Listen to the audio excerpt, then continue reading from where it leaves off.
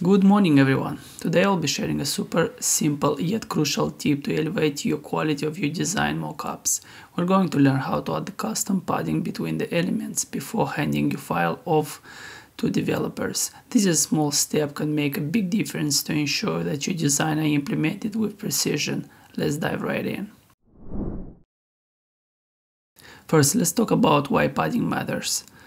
Padding creates spaces between the elements, ensure your design feels balanced, clean, and easy to read. Developers rely on these measurements to create your design accurately. Without proper padding, things can look messy or inconsistent.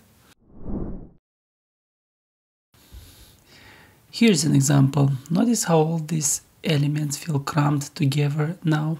I'm gonna just reduce padding. It distracting and takes away from overall design. We're going to fix that by adding the consistent padding. So let's undo our changes. Make sure we're adding back how it was. If you click option or alt and you hover over, you're gonna see the padding between the elements. You can do the same for the for the nav bar, for the top bar, for the header as well. So first of all, what we're gonna do for the next uh, step is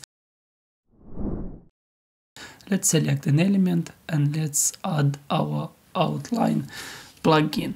Let's make sure that you have auto layout enabled before you, you run this plugin. Let's select a color and click run. Now you can see that the paddings has been added between the elements. Let's remove the additional ones. Now let's for the for the search bar let's do the same. So let's make sure we have our alignment in place. Let's select different color and let's click run. So now you can see all the padding between the elements has been added. Let's do the same for our header. Let's click run and uh, let's do the same for the nav bar. Let's select different color. Let's select this purple. Let's click run. Now you can see every single element has uh, visual padding between them. This will help uh, developers to see how the elements work and what the padding between them should be. And this will make them their life easier and they will thank you for that.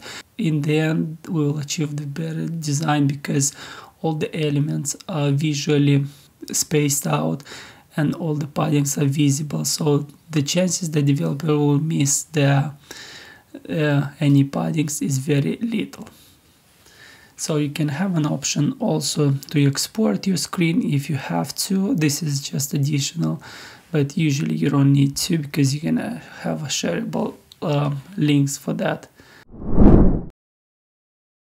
that's it for today's tip. Adding custom padding might feel like a small detail, but it's one of those things that separate a good design from a great one. If you find this video helpful, don't forget to hit the like button, subscribe and share this video with your fellow designer. Until next time, happy designing. Thank you and have a great day.